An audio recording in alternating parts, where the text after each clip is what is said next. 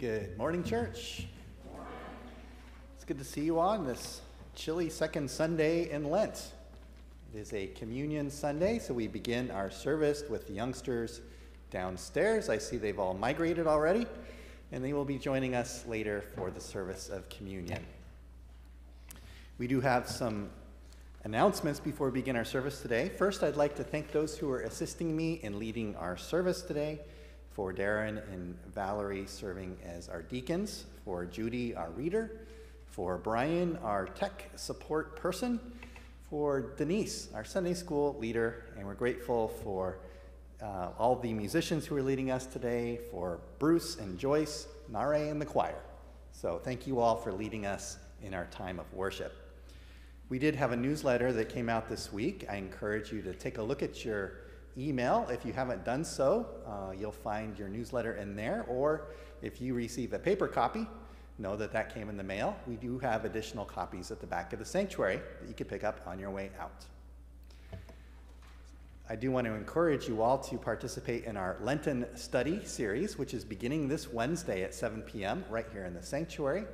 We have a series called Breaking Free about slavery and salvation right here in Stoneham.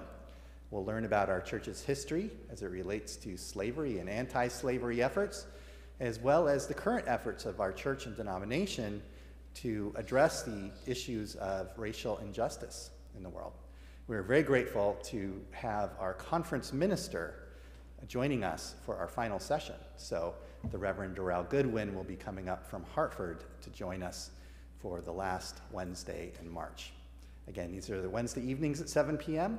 More information is in your bulletin.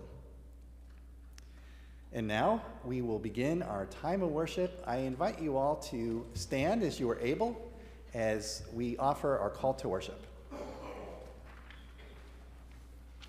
And, and just before that, in conjunction with what Ken said about the series on, on Lent, uh, slavery series, I've put up a display of papers, artifacts, uh, in conjunction with that in the cases out in the hallway. So if you go out that way, you can look in the glass cases and this display of what's, some of what's going to be covered on the series.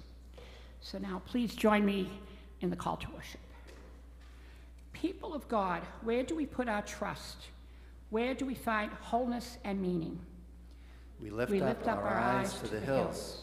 Our help, our help comes, comes, from the Creator of heaven and earth. We are sons and daughters of Abraham and Sarah.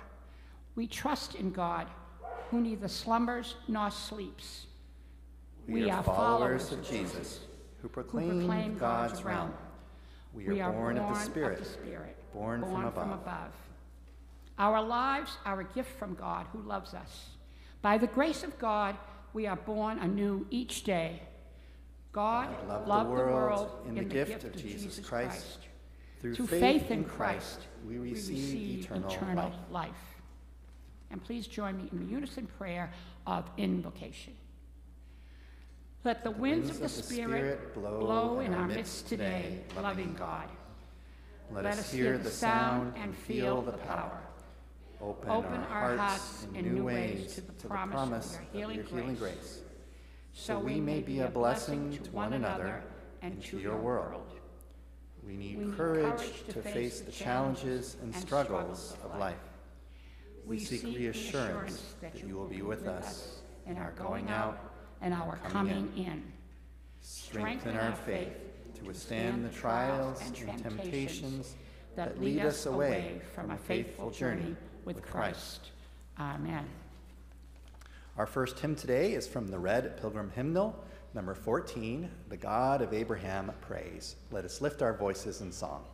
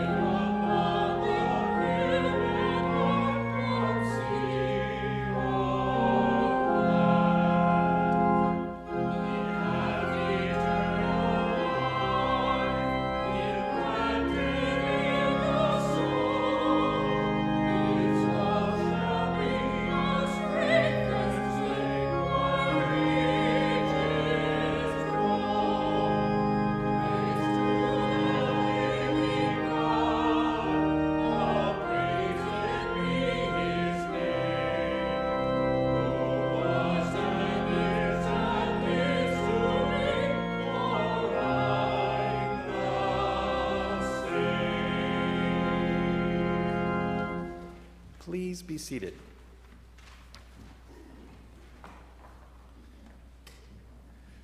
Spiritual ancestors like Abraham sensed God's call to leave behind the security of the familiar, to venture forward to new places God would show them. Others, like Nicodemus, were astonished by Jesus' call to rebirth in the Spirit. Reminded that both calls come also to us, we bow before God to confess our own unfaithfulness. I invite you to join with me in our unison prayer of confession. O God, we confess we have been far more ready to say we believe than to trust you to lead us to new ventures of faithfulness. We are afraid of the evils that surround us. We fear rejection, failure, and ridicule. We admire Jesus, but it is difficult to follow in footsteps that lead to a cross. In the midst of life as we know it here, how can we catch glimpses of eternity? Save us, we pray, from our timidity, and use our doubts as an entry to deeper faith. Amen.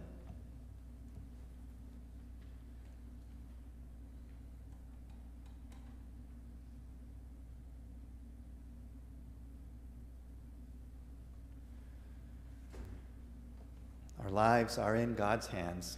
We can only glimpse the mystery of the source of love, who gives life to the dead and calls into existence the things that do not exist. Yet as we look up in trust, there comes to us an abiding assurance that we are not alone.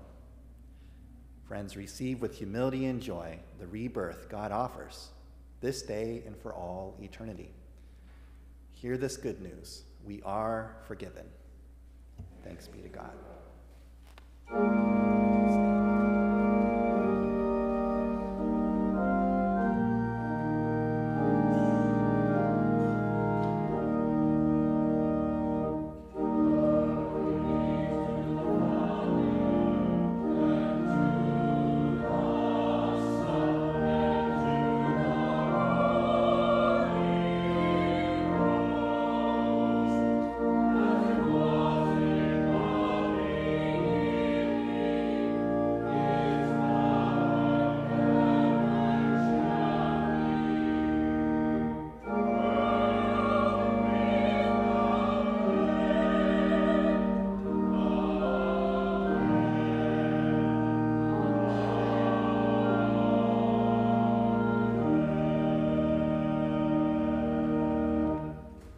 Please be seated.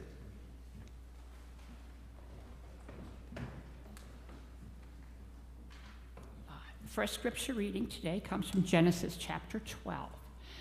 Now the Lord said to Abram, Go from your country and your kindred and your father's house to the land that I will show you.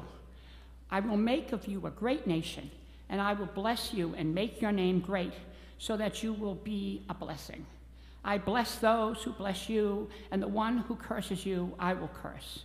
And in all the families of the earth shall be blessed.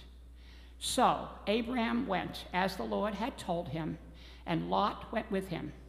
Abram was 75 years old when he departed, departed from Haran.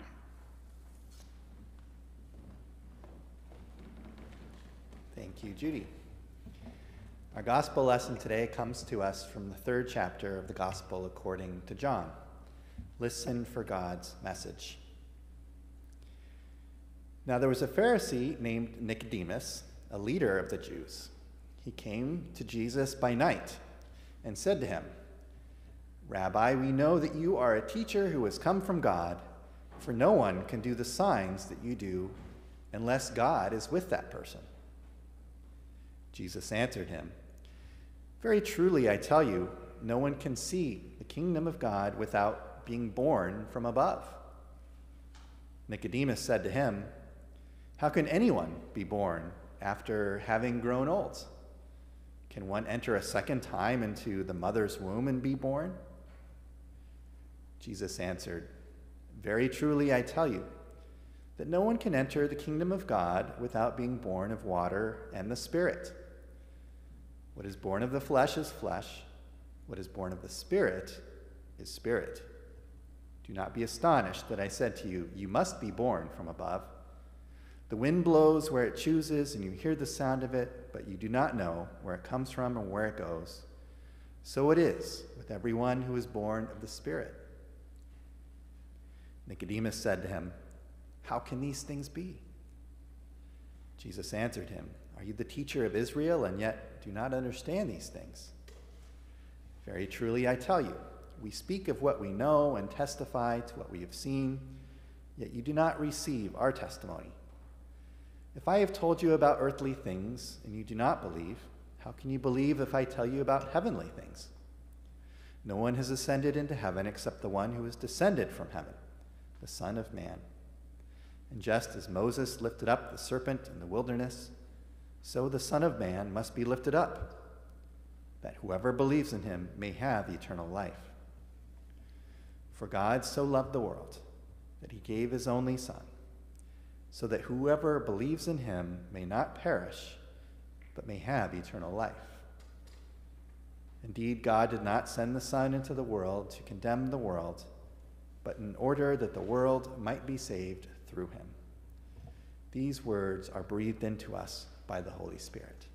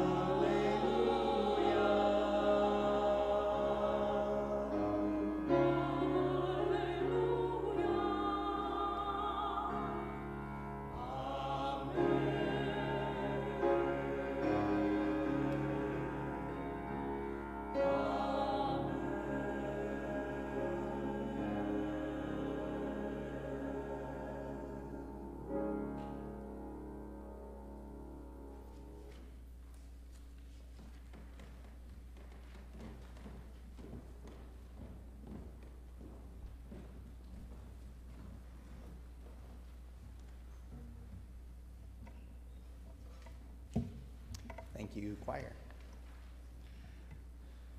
For God so loved the world.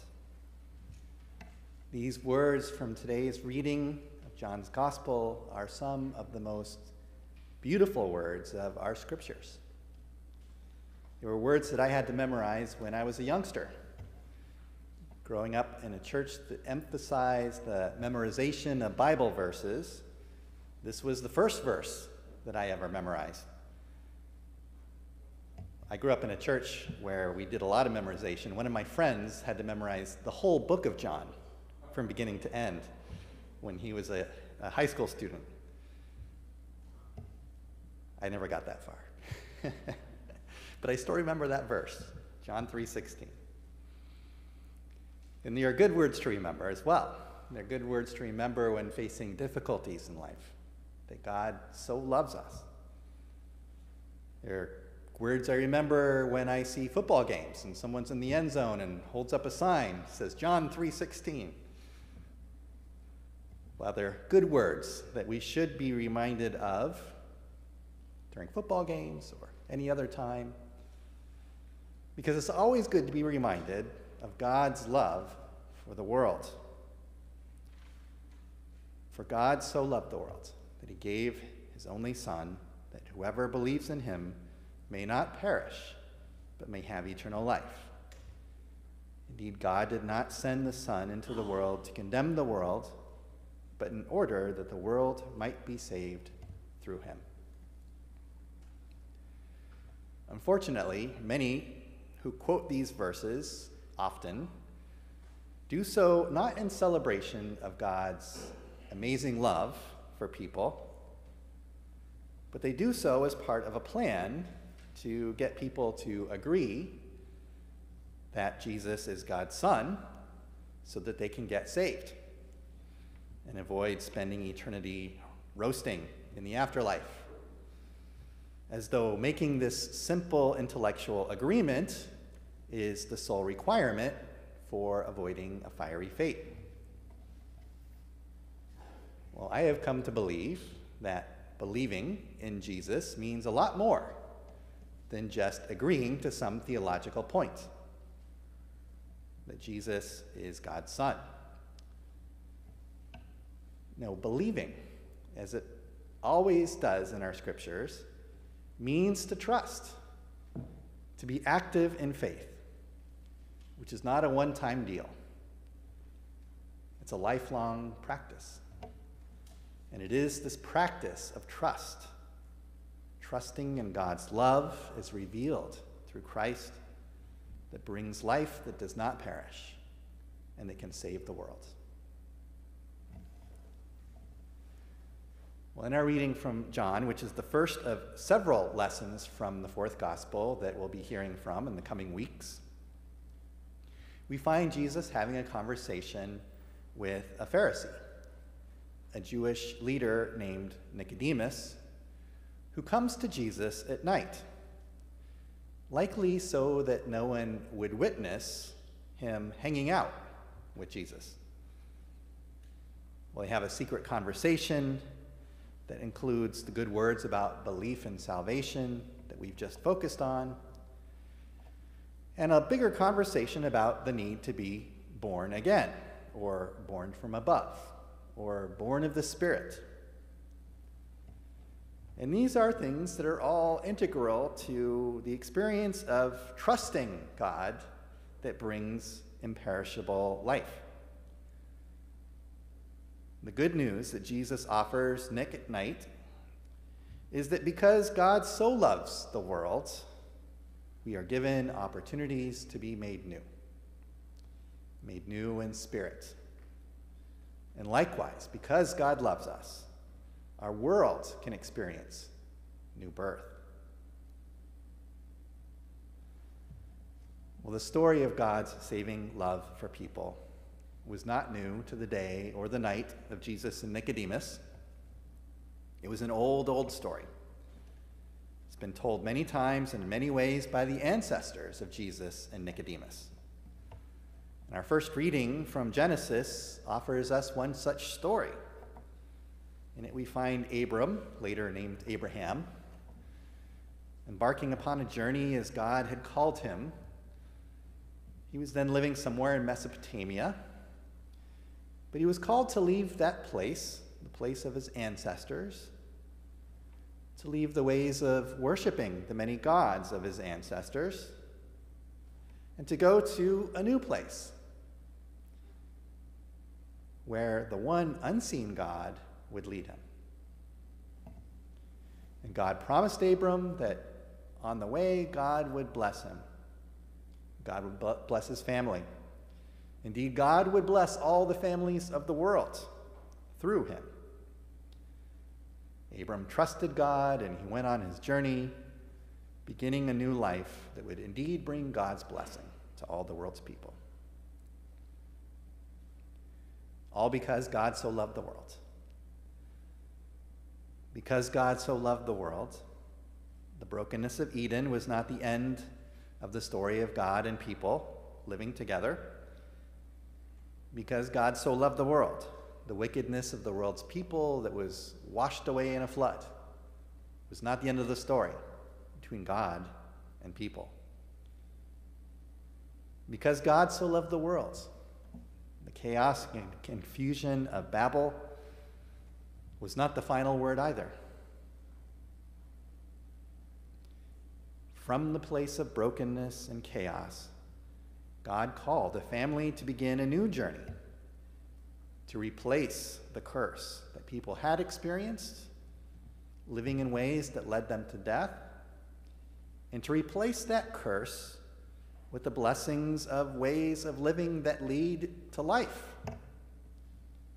And the story of the Bible is the story of that journey towards life, the journey that leads to salvation.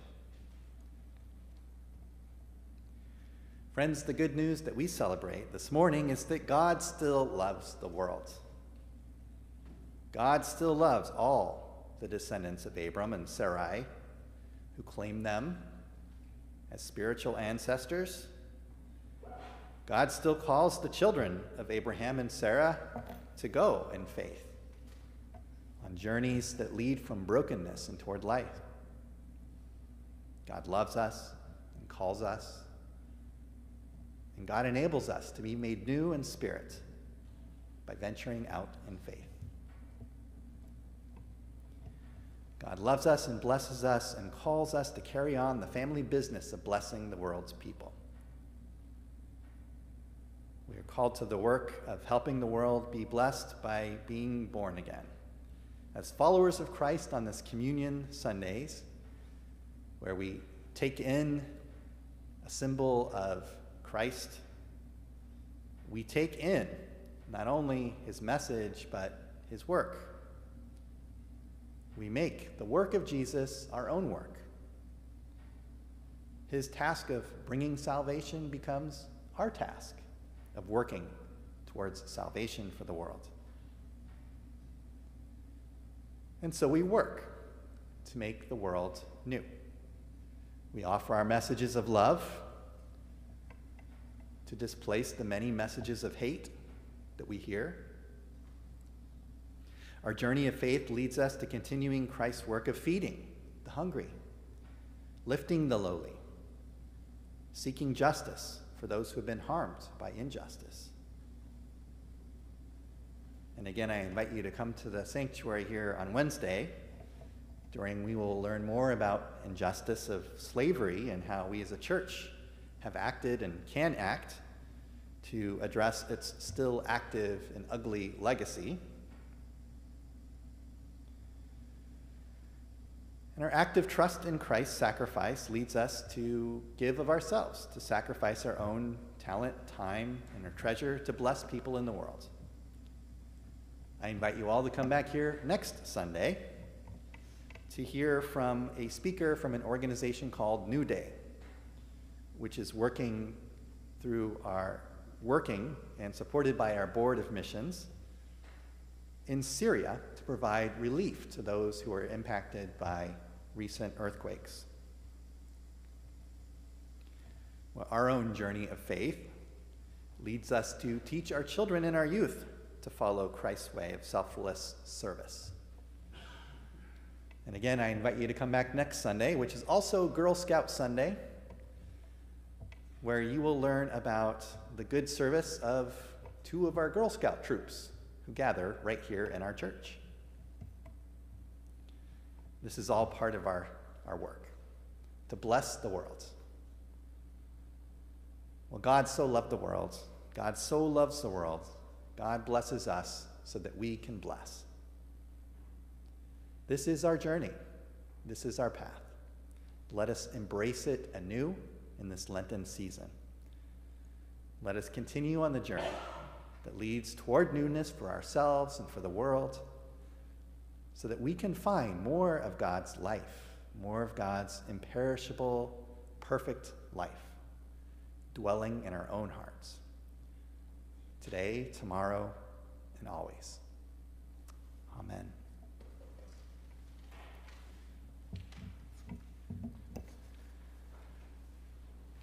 And now that you have endured the sermon, I invite you to stand as together we respond by singing God made from one blood.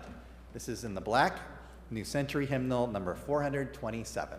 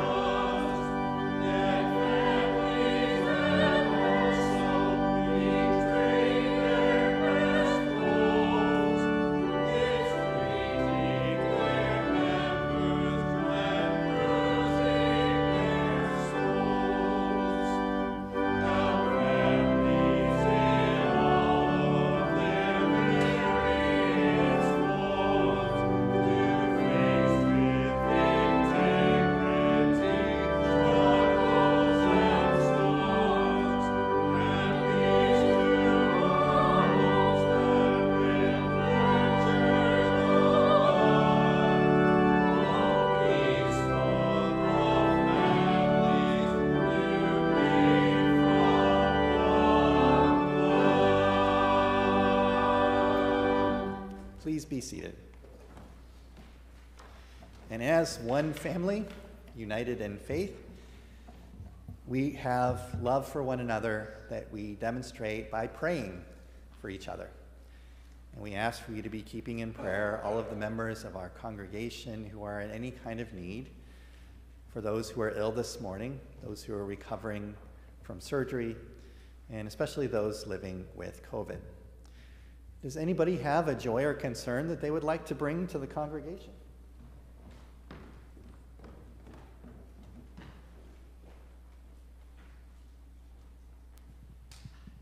I would like everyone to pray for my daughter's future mother in law, Lorraine, who is suffering from uh, terminal cancer. Prayers for Lorraine.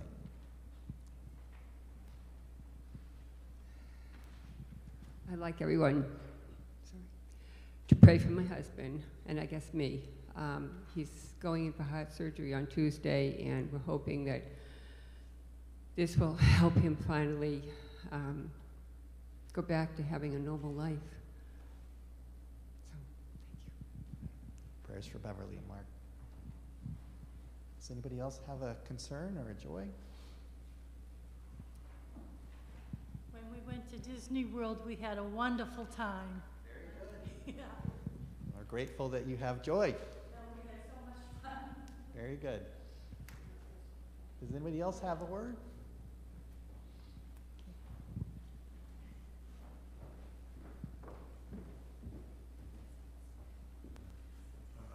Prayers for uh, friends of mine, Barbara and Jerry Grant. Uh, I just talked to Jerry on Thursday night and found out that Barbara has been diagnosed with Parkinson's. So uh, they were long, they still are longtime friends, but just bless them as they go through this.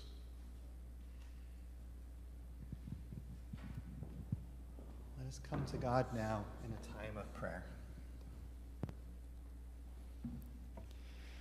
We thank you, living God, for the gift of faith.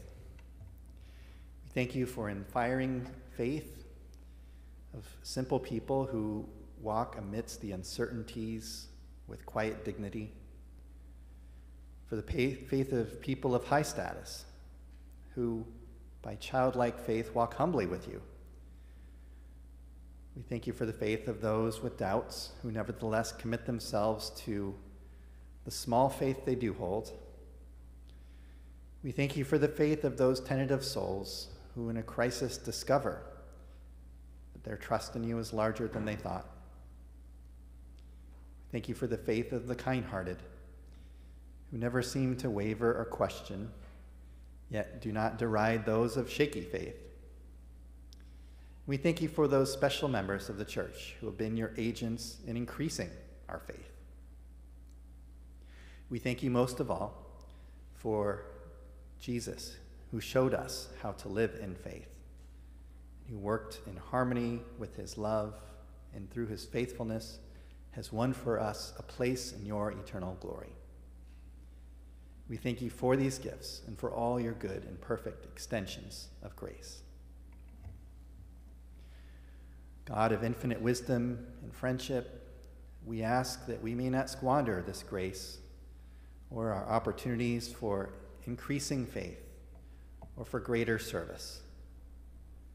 Please send the regenerating breath of the Spirit on all those for whom we now pray. To any of our elders who fear that they are no longer of use, to a friend, a neighbor, or even to you, send your Spirit and regenerate your people. To the young, especially those who are already setting their feet on a road that leads to self destruction, send your Spirit and regenerate your people. To the timid who are afraid to launch out in faith and dare the slings and arrows of a selfish, skeptical community, send your Spirit and regenerate your people. To the scarred who, in the name of Christ, have long fought against prejudice and injustice, and now are on the verge of giving up. Send your spirit and regenerate your people. To those who are sad, who, after the death of a dear loved one, cannot see much point in going on, send your spirit and regenerate your people. To those who grow weary, in their never ending work to serve you in serving their communities, send your spirit and regenerate your people. To these and all your people, O God, send the wind of your refreshing spirit and bring us into that robust and resilient faith which you alone can give us. We pray for grace to take your generous gifts and step in courage on this holy path confident in the radiant life that is your plan for us, made known and given to us in Jesus Christ our Lord. We pray all these things in his name. Amen.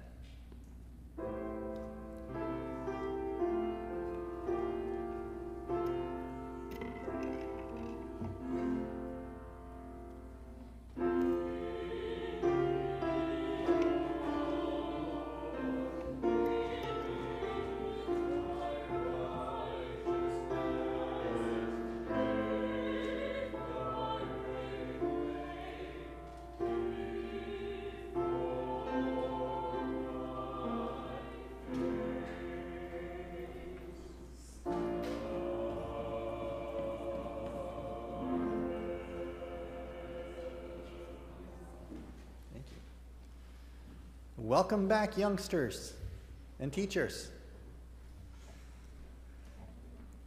The faith that sustains us is not a commodity to be hoarded and protected. Rather, faith is an active, dynamic relationship which God calls us to share with one another, not just in the church, but with everyone.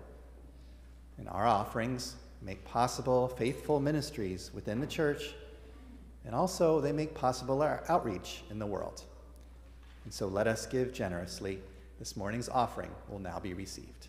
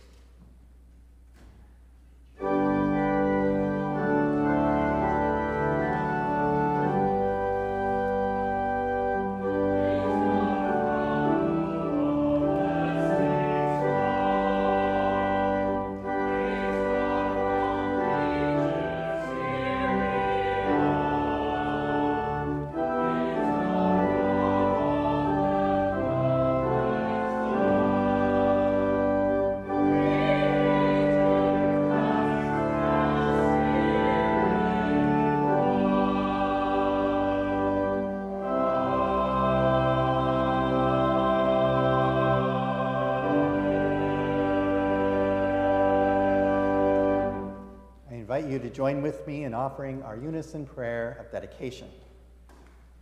Thank you, God, for the glimpses of eternity and the daily experiences of life.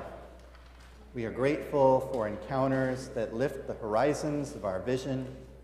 We rejoice in the teaching and care you have provided to us. Bless now the gifts we return to you for the programs and outreach of the church. We want to share our faith with the world.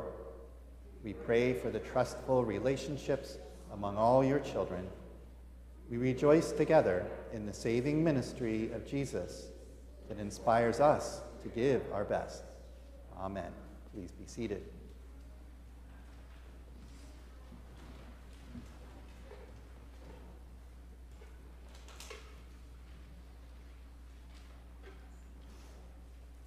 We gather now from wherever we come from, whether it's from the youth room downstairs or from the sanctuary here, and wherever we've come from to be to these places this morning, from the north and the south and the east and the west, we've come together now as one family of faith. And we come to this table that is open to all of us, whether we are young or old or somewhere in between, whether we have much faith or little faith, or are seeking faith. We come to this table because the gift is freely offered to all of us. As we begin to prepare our hearts for the receiving of communion, I invite you to sing the hymn of preparation that is found in your insert in the bulletin One Bread, One Body.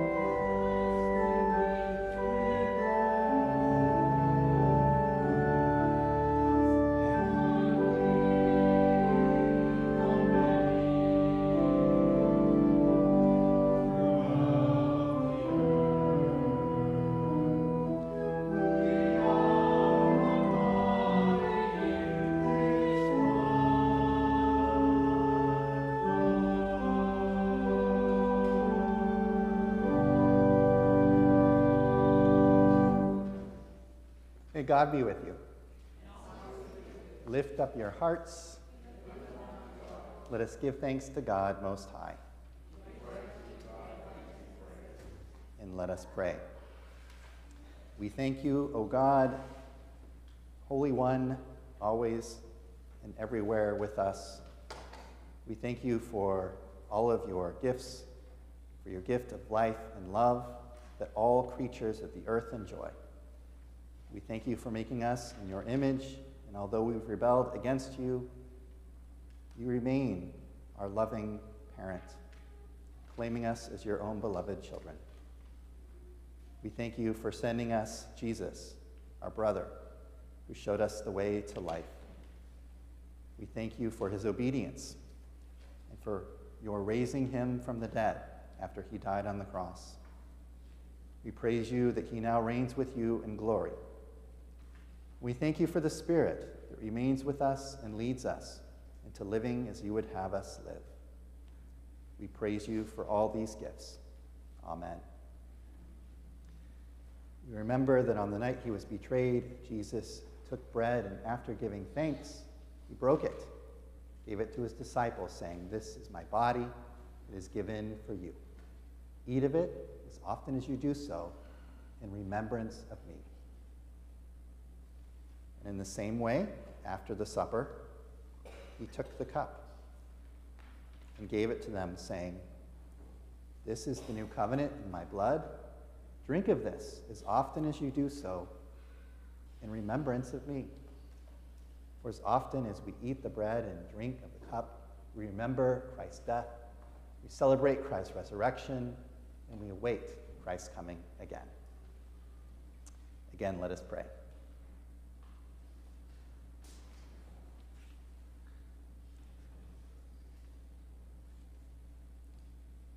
Eternal God, we unite in this covenant of faith as we remember Christ's life, his death, and his resurrection.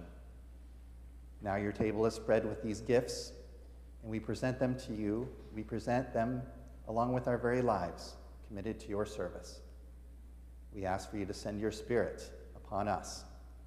Fill us with your truth, that we may go from this place and do your work, being champions of peace and justice in all the world. We pray these things in the name of Jesus, our teacher, who taught us to pray, saying, Our Father, who art in heaven, hallowed be thy name. Thy kingdom come, thy will be done on earth as it is in heaven. Give us this day our daily bread, and forgive us our trespasses as we forgive those who trespass against us.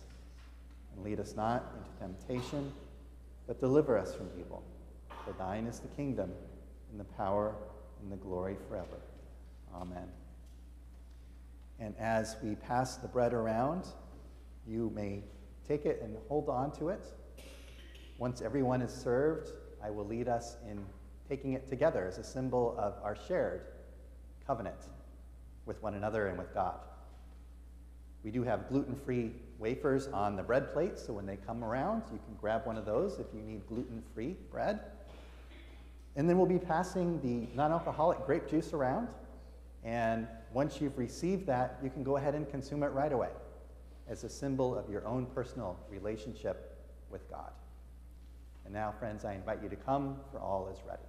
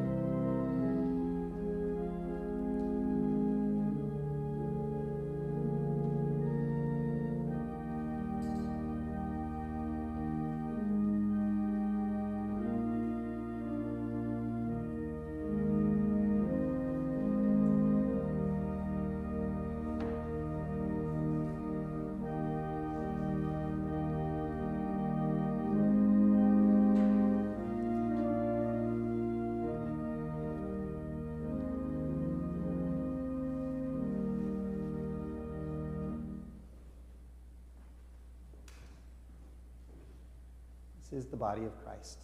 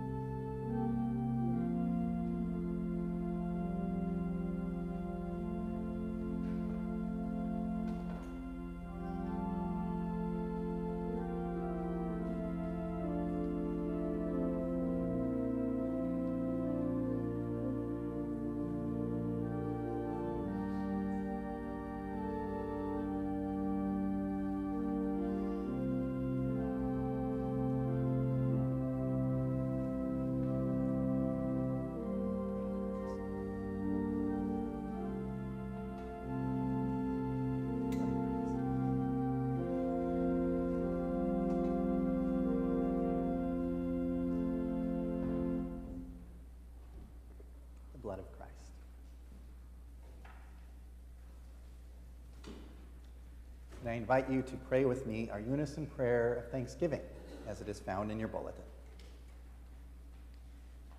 Bountiful God, we give you thanks that you have refreshed us at your table by granting us the presence of Christ.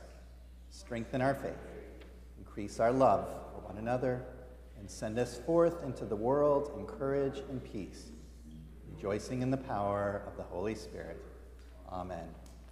And our final hymn this morning is Part in Peace, which is found in the Black New Century Hymnal, number 78. I invite all who are able to stand.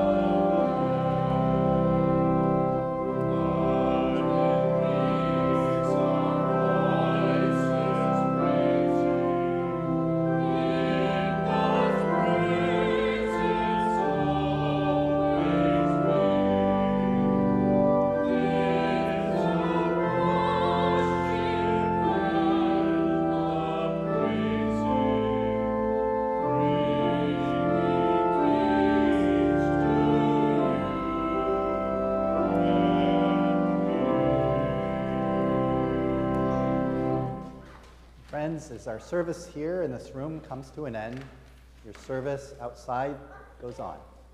As you go and serve, may God, who is your Creator, and Christ, who is your Redeemer, and may the Holy Spirit, who is your Sustainer, go with you and grant you peace.